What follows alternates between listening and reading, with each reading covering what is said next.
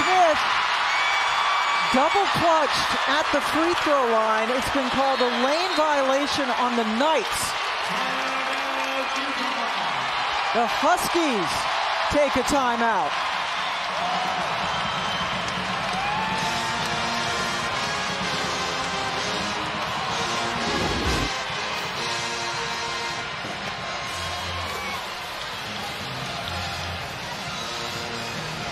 It looks like the official saying that she stepped over the line from his call with his hands, but I'm not sure.